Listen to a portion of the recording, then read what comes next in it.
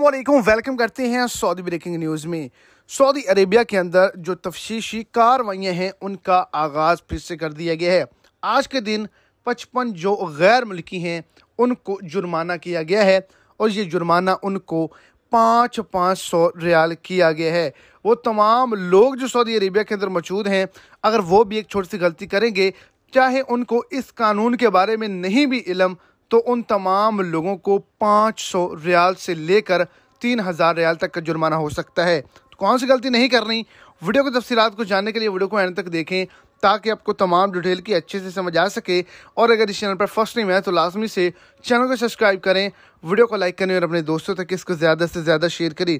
वजारत माहौलियात की निजरान रीजन के अंदर तफशीशी कार्रवाइयाँ जारी हैं।